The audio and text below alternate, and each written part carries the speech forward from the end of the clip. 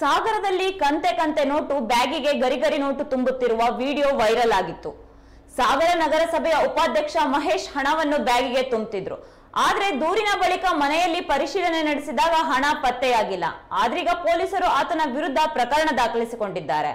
ಬ್ಯಾಂಕ್ನಲ್ಲಿಯೇ ಎರಡು ಸಾವಿರ ರೂಪಾಯಿ ಹುಡುಕುವ ಪರಿಸ್ಥಿತಿ ಇತ್ತು. ಆದ್ರೀಗ ಎರಡು ಸಾವಿರ ಮುಖಬೆಲೆಯ ಗರಿಗರಿ ನೋಟುಗಳು ಪತ್ತೆಯಾಗಿರೋದು ಇದು ಸಂಗ್ರಹಿಸಿಟ್ಟಿರುವ ಹಣ ಎಂಬ ಅನುಮಾನ ಕಾಡತೊಡಗಿದೆ. ಪೊಲೀಸರು ಈ ಬಗ್ಗೆ ತನಿಖೆ ಕೈಗೊಂಡಿದ್ದಾರೆ.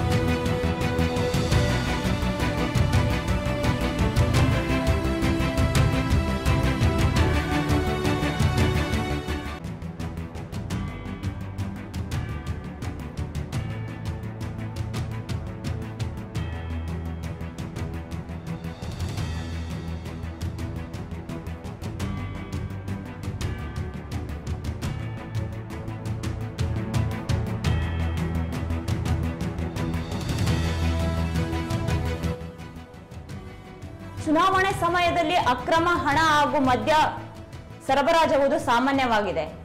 ಈ ನಡುವೆ ಸಾಗರದಲ್ಲಿ ಕಂತೆ ಕಂತೆ ನೋಟುಗಳಿರುವ ಬ್ಯಾಗ್ ಇರು, ಬ್ಯಾಗ್ನಲ್ಲಿ ಹಣವನ್ನು ಎಣಿಸುತ್ತಿರುವ ವಿಡಿಯೋ ಒಂದು ಸದ್ಯ ಸಖತ್ ವೈರಲ್ ಆಗಿದೆ. ಈ ಬಗ್ಗೆ ಮಾಹಿತಿ ಹಿಡಿದು ಹೊರಟ ಪೊಲೀಸರಿಗೆ ಯಾವುದೇ ಮಾಹಿತಿ ಸಿಕ್ಕಿಲ್ಲ. ಮನೆಯಲ್ಲಿ ಹಣವೂ ಸಹ ಸಿಕ್ಕಿಲ್ಲ.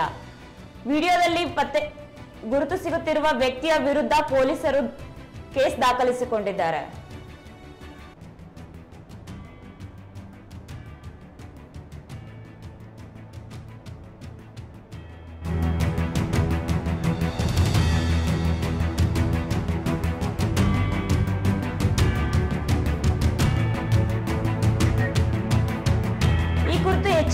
ಮಾಹಿತಿ ಪಡೆಯೋಣ ನಮ್ಮ ವಾಹಿನಿಯ ಪ್ರಧಾನ ಸಂಪಾದಕರಾದ ಹೊನ್ನಾಳಿ ಚಂದ್ರಶೇಖರ್ ಅವರ ಹತ್ರ. ಹೊನ್ನಾಳಿ ಚಂದ್ರಶೇಖರ್ ಅವರೇ, ಸಾಗರದಲ್ಲಿ ಕಂತೆ ಕಂತೆ ನೋಟು ಇರುವ ಬ್ಯಾಗ್ ಅಲ್ಲಿ ದುಡ್ಡು ಎಣಿಸ್ತಾ ಇರುವಂತಹ ಒಂದು ವಿಡಿಯೋ ಸದ್ಯ ಸಖತ್ ವೈರಲ್ ಆಗಿದೆ. ಈ ಬಗ್ಗೆ ಹೆಚ್ಚಿನ ಅಪ್ಡೇಟ್ಸ್ ಏನಿದೆ? ಪ್ರೀತಿ, ಸಾಗರ ನಗರಸಭೆಯ ಉಪಾಧ್ಯಕ್ಷ ರಮೇಶ್ ಅವರ ಮನೆಯಲ್ಲಿ ವಿಡಿಯೋದಲ್ಲಿ ಒಂದು ಮನೆಯಲ್ಲಿ ಶೂಟ್ ಮಾಡಿದಂತ ಒಂದು ವಿಡಿಯೋ ಸಾಮಾಜಿಕ ಜಾಲತಾಣದಲ್ಲಿ ವೈರಲ್ ಆಗಿತ್ತು. ಅದರಲ್ಲಿ ಮಹೇಶ್ ಅವರು ಹಣದ ಕಂತೆಯಿಂದ ಒಂದು ಬ್ಯಾಗ್ನಲ್ಲಿ ಇಡ್ತಾ ಇರ್ತಕ್ಕಂತ ಒಂದು ವಿಡಿಯೋ ಅದು. ಆ ಸಂದರ್ಭದಲ್ಲಿ ಈ ಸಾಮಾಜಿಕ ಜಾಲತಾಣದಲ್ಲಿ ವಿಡಿಯೋ ವೈರಲ್ ಆದ ಹಿನ್ನೆಲೆಯಲ್ಲಿ ತಪಾಸಣೆ ಮಾಡುವಂತೆ ಸಾಗರ ಉಪವಿಭಾಗಾಧಿಕಾರಿಗಳು ಒಂದು ಮೌಖಿಕ ಸೂಚನೆ ನೀಡಿದ್ರು. ಅದ್ರ ಪ್ರಕಾರ ಮಹೇಶ್ ಇವರು ನಗರಸಭೆ ಉಪಾಧ್ಯಕ್ಷರು ಸಹ ಹೌದು. ಮಹೇಶ್ ಅವರು ಇವರ ಮನೆಗೆ ಹೋಗಿದ್ದಾರೆ ಎಸ್ ಎಸ್ ಕೆ ತಂಡದವರು. ಸಂಜೆ ಎಂಟೂವರೆಯಿಂದ ಒಂಬತ್ತುವರೆವರೆಗೂ ಅಲ್ಲಿ ತಪಾಸಣೆ ಮಾಡಿದರೆ, ಆ ತಪಾಸಣೆ ಮಾಡಿದಂತ ಸಂದರ್ಭದಲ್ಲಿ ಯಾವುದೇ ಹಣ ಸಿಕ್ಕಿಲ್ಲ. ಆದ್ರೆ ಮಹೇಶ್ ಅವರು ಅವರ ಮನೆಯಲ್ಲಿಯೇ ಹಣವನ್ನ, ಹಣದ ಕಂತೆಯನ್ನ ಬ್ಯಾಗ್ನಲ್ಲಿ ತುಂಬ್ತಾ ಇರ್ತಕ್ಕಂತ ವಿಡಿಯೋ ಅದು. ಹಾಗಾಗಿ ಸಾಮಾಜಿಕ ಜಾಲತಾಣದಲ್ಲಿ ಈ ವಿಡಿಯೋ ವೈರಲ್ ಆದ ಕಾರಣಕ್ಕೆ ಈ ಹಣ ಪಕ್ಷಕ್ಕೆ ಚುನಾವಣೆಗೆ ಸಂಬಂಧಪಟ್ಟಿದ್ದು, ಹಾಗಾಗಿ ಚುನಾವಣೆಯಲ್ಲಿ ಅಕ್ರಮ ಸಂಭವಿಸಬಹುದು ಅನ್ನೋ ಕಾರಣಕ್ಕಾಗಿ ನೀತಿ ಸಂಹಿತೆ ಉಲ್ಲಂಘನೆ ಆಗಿದೆ ಅಂತ ಹೇಳಿ ಒಂದು ಪ್ರಕರಣ ದಾಖಲಾಗಿದೆ ಸಾಗರದಲ್ಲಿ. ಜೊತೆಗೆ ನಗರಸಭೆ ಉಪಾಧ್ಯಕ್ಷರಾದ ಮಹೇಶ್ ಅವರ ವಿರುದ್ಧ ಕಾನೂನು ಕ್ರಮ ಕೈಗೊಳ್ಳುವಂತೆ ದೂರು ನೀಡಿದ ಹಿನ್ನೆಲೆಯಲ್ಲಿ ಒಂದು ಪ್ರಕರಣವನ್ನ ದಾಖಲಿಸಲಾಗಿದೆ. ಈ ಈ ಪ್ರಕರಣವು ಸಾಗರದ ಠಾಣೆಯಲ್ಲಿ, ಪೊಲೀಸ್ ಠಾಣೆಯಲ್ಲಿ ದಾಖಲಾಗಿದೆ. ಹಾಗಾಗಿ ಇದ್ರ ಬಗ್ಗೆ ಇನ್ನೂ ಹೆಚ್ಚು ತನಿಖೆ ತನಿಖೆ ಆಗಬೇಕಾಗಿದೆ.